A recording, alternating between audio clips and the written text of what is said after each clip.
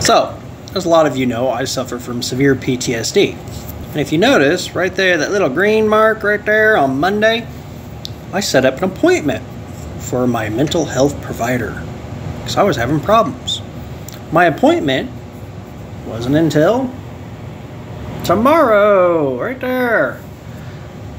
Yeah, they called me back and said, you know, called to confirm. I confirmed.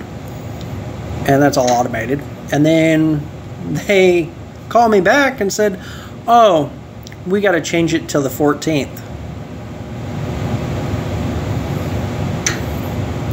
Well, what the fuck?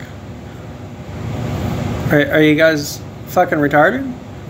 Hmm. Really feels like I'm dealing with the VA. That's literally a month and a half out that I freaking had to plan that. I mean, that was a month alone right there. Yeah, that's great. I just hung up the phone on him because Mountain Comprehensive Care in Madisonville, Kentucky is worthless as tits on a boar hog. Yeah. Yeah. These people are freaking, I mean, they're special. Special. Yeah.